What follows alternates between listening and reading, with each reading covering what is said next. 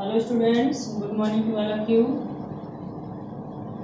grammar हम लोग पैसियास का अध्ययन कर रहे हैं और पैसियास पढ़ाने से पहले कल मैंने डिटेल्स दिया था केस के बारे में। उसके पर्सन के बारे में कि केस कितने प्रकार के होते हैं केस क्या होता है पर्सन क्या होता है पर्सन कितने होते हैं। ताकि इसको जब हम पढ़े रहेंगे तो आसानी से हम एक्टिव पैसियास भी कर सकते हैं और डायरेक्ट इनडायरेक्ट भी बना सकते हैं। ठीक है? अब इसमें हम लोग शुरू करते हैं पैसिव वॉइस कुछ चीज़ें जो नोट के रूप में होंगी कि जब हम किसी बात को एक्टिव से पैसिव में चेंज करते हैं तो क्या क्या परिवर्तन हर किसी वाक्य में होगा, उसको हम नोट कर लेंगे, फिर इसके बाद हम टेंस वाइज उसको हम लोग बनाएँगे। लिखते हैं यहाँ पे, जब हम किसी वाक्य को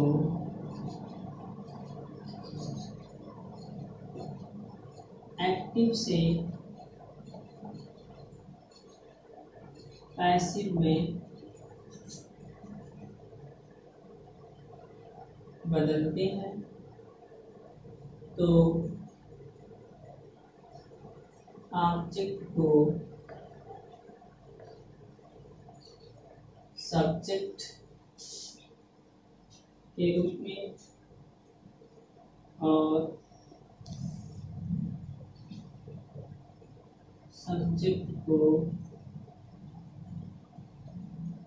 ऑब्जेक्ट के रूप में लिखते हैं। यदि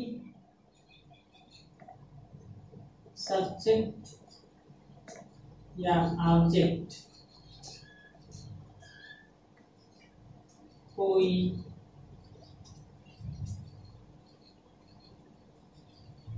नाउन हो तो उसमें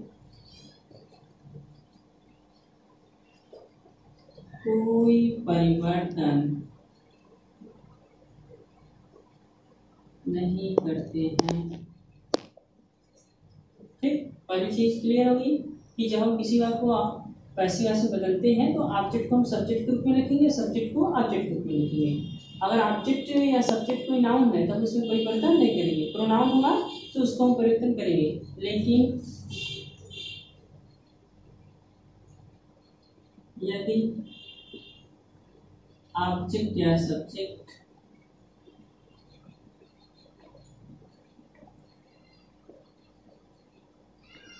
कोई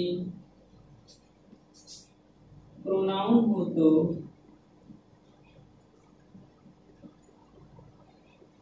उसे पैसिव में बदलते समय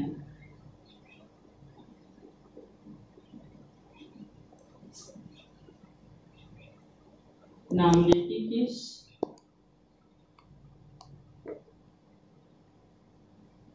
और ऑब्जेक्टिव केस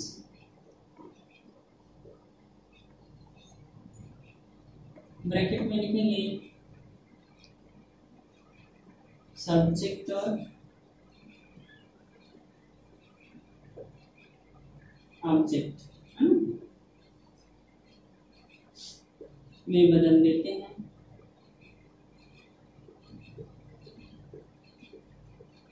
पहला कंडीशन हो गया। जब हम क्या करेंगे? जब नाउन होगा तो उसको हम आगे उसी तरीके से रख देंगे। लेकिन जब प्रोनाउन होगा, जब उसको हम क्या करेंगे? जब सब्जेक्ट के रूप में रखेंगे तो नामनेटिव में बदल देंगे, जब ऑब्जेक्ट के रूप में रखेंगे तो ऑब्जेक्टिव में बदल देंगे। साथ ही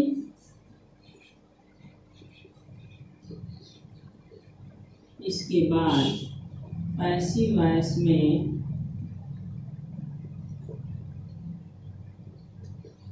हमेशा मेन वर्ग के थर्ड फॉर्म का प्रयोग होता है। जब किसी कोई भी टेंस होगा, चाहे टेंस हो, चाहे सेंटेंस हो सेंटेंस मतलब इंपरेटिव सेंटेंस ठीक? कोई भी वाक्य होगा, हमेशा पैसिव वर्ग थर्ड फॉर्म में आता है। बाई का प्रयोग जनरली हम लोग करते हैं। जब हम ऑब्जेक्ट को सब सब्जेक्ट के रूप में रखते हैं यहाँ सब्जेक्ट को ऑब्जेक्ट के रूप में रखने के बाद हम देखते हैं कि बाई का प्रयोग होता है। सब्जेक्ट से पहले मतलब सब्जेक्ट को ऑब्जेक्ट के रूप में रखेंगे तो ये कॉमन नियम है लेकिन कोई और कंडीशन नहीं है कि हमेशा हम बाई का प्रयोग करते हैं। तो ये सारी चीज़ें हमको पता होना चाहिए।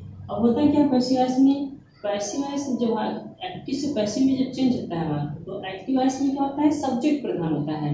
मतलब किसी काम को हम सब्जेक्ट के द्वारा दर्शाते हैं। ठीक है? और जब उसको हम पैसिव में चेंज करते हैं तो उस वाक्य को हम ऑब्जेक्ट के द्वारा कार्य दर्शाते हैं। इसका मतलब हुआ कि एक्टिव वॉइस में सब्जेक्ट प्रधान होता है पैसिव वॉइस में ऑब्जेक्ट प्रधान होता है।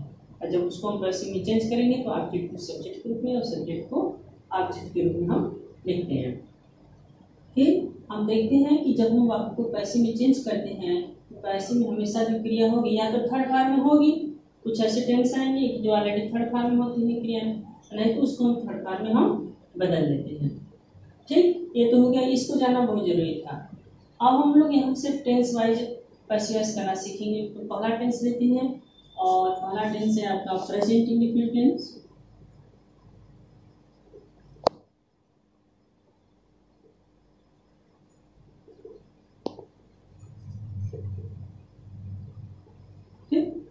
present independence में चूँकि वाक्य आपके स्ट्रक्चर के आधार तीन प्रकार के होते हैं। पहला हो गया आपका अफर्मेटिव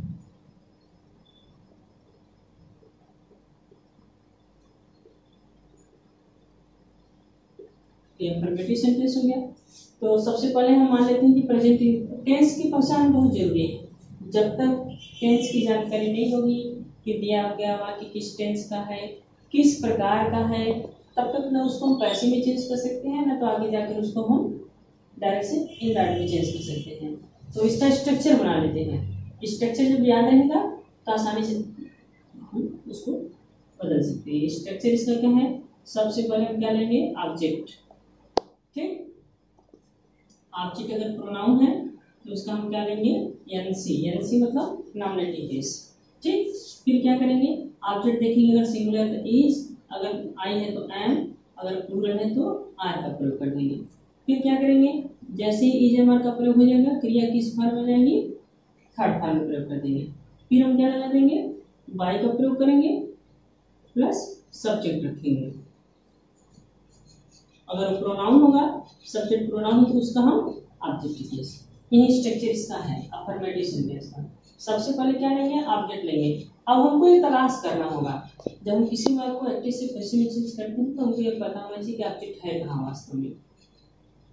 तो पता होना चाहिए कि जब हम पैसिव वॉइस बनाते हैं और वाक्य में ऑब्जेक्ट को पहले लिखते हैं तो ऑब्जेक्ट हमेशा मेन वर्ग के तुरंत बाद होता है। तुरंत बाद ही आएगा। जैसे